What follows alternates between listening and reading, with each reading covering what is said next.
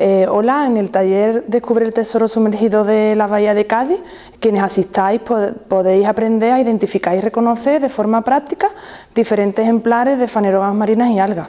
También os contaremos diferentes usos y utilidades de las mismas, así como algunas curiosidades. Para quien todavía no lo sepa, las fanerogas marinas son plantas marinas que viven en la bahía de Cádiz. Tenemos tres de las cuatro especies que existen en Europa y por eso constituye un auténtico tesoro. Eh, os animo también a que vengáis a la Noche de los Investigadores porque hay diferentes formatos de actividades en las cuales, bien solo o en compañía, podréis acercaros al mundo de, de los investigadores. Así que no faltéis.